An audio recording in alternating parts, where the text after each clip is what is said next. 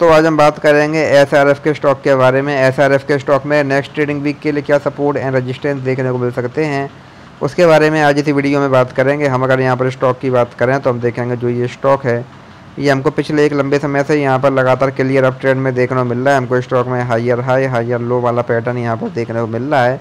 अभी रिसेंटली हमको यहाँ पर स्टॉक में गिरावट भी देखने को मिली थी, लेकिन यहाँ पर गिरावट के बाद भी यहाँ पर स्टॉक ने अपने ये सपोर्ट जोन को ब्रेक नहीं किया।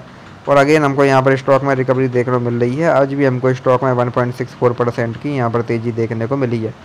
तो यहाँ से अभी हम स्टॉक में बात करें, अगर यहाँ से स्टॉक में ये तेज़ी कंटिन्यू रहती है तो यहाँ से भी और तेज़ी की कंडीशन में हमारे पास यहाँ पर स्टॉक में टू थ्री एट ज़ीरो का पहला यहाँ पर रजिस्टेंस देखने को मिलेगा। अगर स्टॉक इसको ब्रेक करता है देन यहाँ से हमको स्टॉक में two five one through then यहाँ से हमको स्टॉक में टू सिक्स एट सेवन और अगर स्टॉक ने इसको भी यहाँ ब्रेक किया देन यहाँ से हमको स्टॉक में two eight six one and then यहाँ से हमको स्टॉक में थ्री थाउज़ेंड और thirty two thirty three hundred तक के लेवल्स भी यहाँ पर देखने को मिल सकते हैं।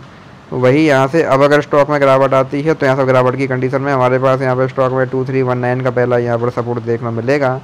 अगर स्टॉक इसको भी यहाँ ब्रेक करता है देन यहाँ से हमको स्टॉक में टू वन नाइन वन और टू ज़ीरो नाइन वन तक के लेवल्स भी यहाँ पर देखने को मिल सकते हैं एज ए नेक्स्ट यहाँ पर सपोर्ट तो इस स्टॉक में कुछ इंपॉर्टेंट लेवल्स हैं, आप इन पर ध्यान दे सकते हैं। बाकी वीडियो में कोई बाय सेल होल्डिंग्स रहा नहीं है।